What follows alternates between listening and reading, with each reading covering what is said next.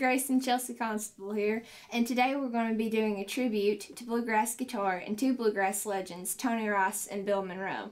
The song that we're going to be demoing these Taylor guitars on is called Big Mon by Bill Monroe. We'd like to thank Taylor Guitars and Soundcheck in Nashville for sending us out these wonderful instruments, and we'd like to thank Shubb Capos, the best capo on the market. This is our interpretation of Big Mon, and we hope you enjoy.